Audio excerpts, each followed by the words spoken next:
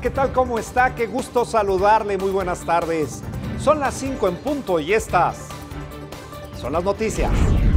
El gobernador Marco Mena enfatizó que la administración estatal opera sin dificultades y descarta una parálisis en el ejercicio de los recursos públicos para este 2019. Autoridades estatales inauguraron la empresa de origen chino Sonavox Electronics, asentada en Ciudad Industrial Chicotencatl 2, en el municipio de Huamantla. Menores de Terrenate recibieron a la caravana de Reyes, encabezada por la presidenta del sistema estatal DIF, Sandra Chávez Ruelas, quien entregó juguetes y prendas abrigadoras a niñas y niños de bajos recursos. Con trabajos de acondicionamiento físico y limpieza en la rutina sobre el trampolín, es como se preparan los alumnos del Centro de Desarrollo de Totolac. La etapa estatal con miras a Olimpiada Nacional está en puerta.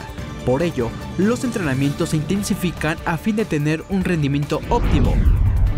El presidente Andrés Manuel López Obrador afirmó que se avanza en los trabajos para normalizar el abasto de combustible a nivel nacional, pese a que los ductos siguen sufriendo de sabotaje. Estamos trabajando para normalizar el servicio de distribución de gasolinas, de diésel, se ha ido avanzando, no sin obstáculos, porque siguen con actos de sabotaje quienes eh, mantenían este negocio ilícito. Al menos 27 muertos y numerosos heridos han ocasionado las nevadas que en las últimas dos semanas se verifican en países de Europa Central y Oriental. Bosnia ha sido de los más afectados con tres muertos y 17 heridos por accidentes en las carreteras del país, en las que además de choques y patinadas de autos y camiones volcó una máquina de quitanieve.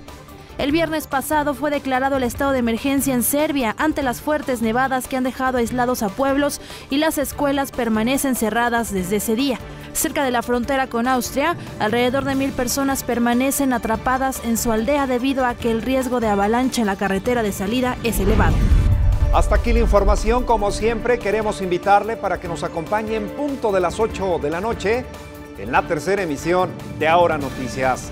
Gracias. Buenas tardes.